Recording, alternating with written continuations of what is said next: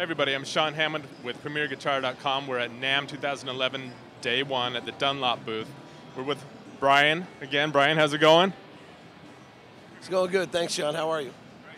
So you've got some new accessories you guys are excited about for this year. Why don't you tell us about those? Well, first off, what we have here is the fancy Derek Trucks signature slide.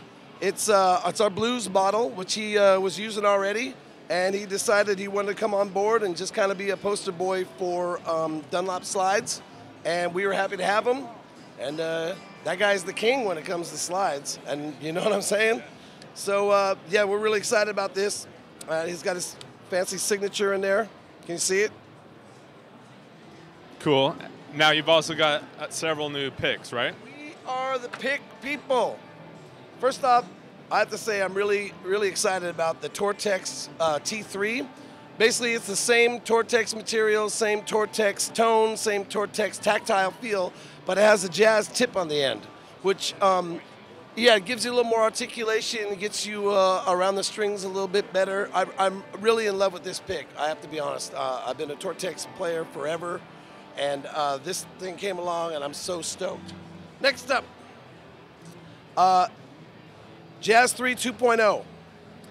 It's black Ultex in the Jazz shape, uh, molded, sculpted, same tip as the Jazz.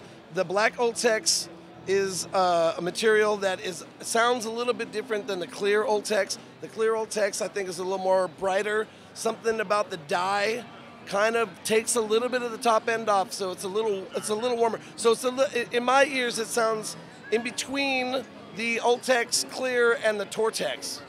But, uh, you know, I'm a crazy person. What do I know? Uh, next up, also in the black uh, Ultex is the Papa Hetfield, James Hetfield signature pick. This, I believe, is the 1.14, is the one that he uses. It's sculpted, it's molded, and uh, it's got all these cool, cool graphics. Hetfield, Papa Hets, Black Fang. Big seller right now. People are loving this pick. Another T3. I told you I love this one. Uh, we also have Kirk Hammett's Jazz 3. Now, uh, Kirk used to use our regular Jazz 3s, and he would take, you know, some cutters and cut out this point because he feels that he can get a grip on it better.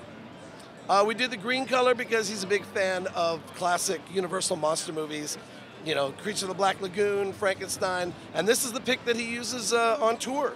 And then last up, what we have here is our fantastic Max Grip. It's part of our signature nylon series. Uh, Dunlop picks. Nylon picks have been around for a thousand years. Cavemen were using them. They, they built the pyramid with this pick, really.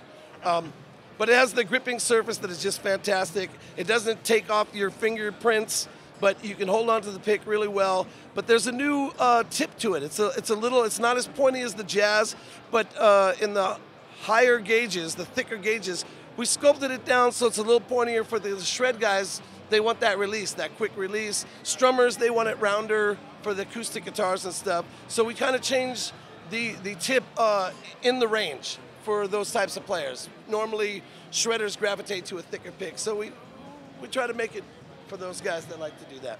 Very cool. We, we as guitar players tend to obsess over a lot of other things that are seem a lot bigger, but these tiny things do affect the detail, how you play, your attack, your your technique. You know what? It sounds like it's a subtle thing, but it makes a big difference. I mean, everybody's always trying to get that edge. They're trying to get to play better. It's kind of a competition. You got to get out there and kick someone's butt. You know what I mean? You need every trick in the book because these kids nowadays are getting good, good, good.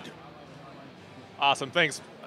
Where can people go to find out more about these? They can go. Fancy that you said that. I like that. Uh, JimDunlop.com. We got a new uh, website that we just put up. It's got all kinds of fancy bells and whistles, and I hope you guys enjoy it. And uh, keep playing music. Well, thanks, Brian. I'm Shawn Hammond, and you're watching PremierGuitar.com.